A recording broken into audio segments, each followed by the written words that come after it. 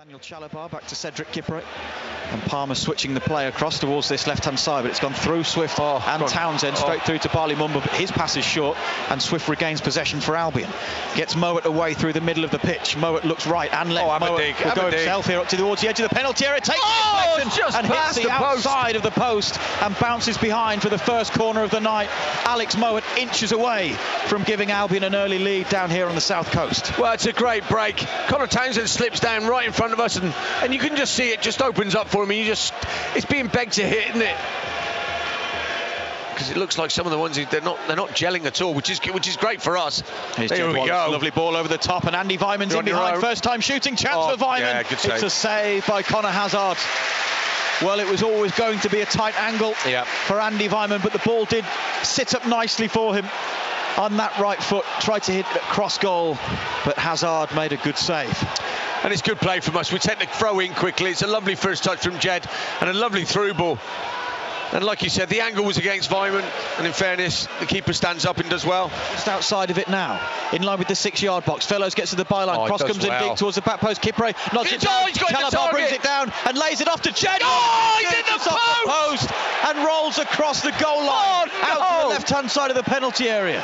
It's picked up by John Swift down the line. Here's Townsend's cross into the edge of the six-yard box again, and it's a free kick given for a foul by Cedric Kipre on a Plymouth defender. Albion so so close to scoring the first goal of the night here. Jed Wallace seeing his strike cannon back off the post. Well, I thought Chalobah should have hit it first time. He took a touch, which I thought was the wrong decision, but he obviously knows better than me 'cause he lays it back to Jed Wallace, who rockets one through a lot of bodies. Keeper's got no chance at all, and it comes off the inside of the post. Back to Mowat, Mowat to Wallace, Wallace down the line, cross comes in from deep towards that. There it is! Oh, what a save! Tipped over the top What of the save! crossbar by the goalkeeper Conor Hazard, who was called upon there. Nathaniel Chalobah has never scored for West Bromwich Albion in the league.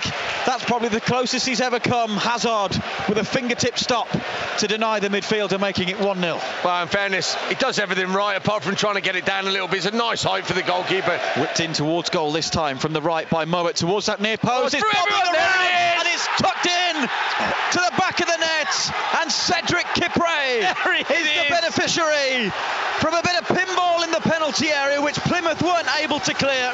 And Albion make their second half dominance count. It's one of the set pieces that they've had in this game. Finally, they've capitalised on one of them. And Cedric Kipre gets his second goal this season to make it Argyle nil, Albion one.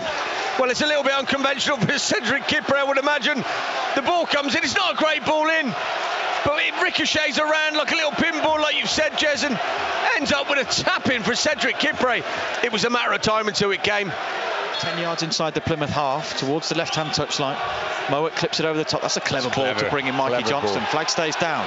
Johnston will go himself. Hasn't got many options. Steps inside. Mikey Johnston still. Oh, Oh, that's goal! spectacular. There it is! Mikey Johnston. There it is! Two and bends it into the far corner away from Conor Hazard. A moment of magic from Mikey. And the Albion are two goals to the good at home park. Well, he never had a lot to do. No, sorry, never had a lot of options, did he? He had plenty to do. But he steps, it's, it's a lovely ball to Alex Mowat. To Mikey, he comes in. So you just you said it 30 seconds ago. For me, I thought he was he played well the other day. He was very direct. He's been, you know, people have said about his end products. Well, there's a bit of end product for you. Top bins, how's some of that? 2 0, game done. Mikey Johnston's second goal in navy blue and white stripes, and what a goal as well. With 15 minutes to go. Into Erik Pieters. Oh, that's a clever forward. ball. Great ball towards Clever Mikey ball. Johnston.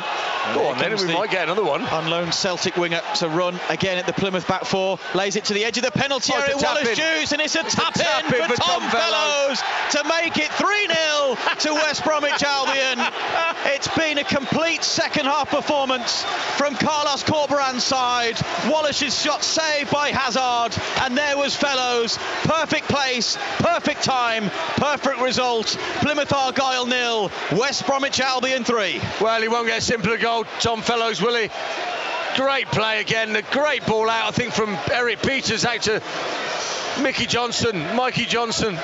Keeper, in fairness, does well, he parries it, but we had we had two players there ready for the tapping. And it's as simple as that. Game done, dusted.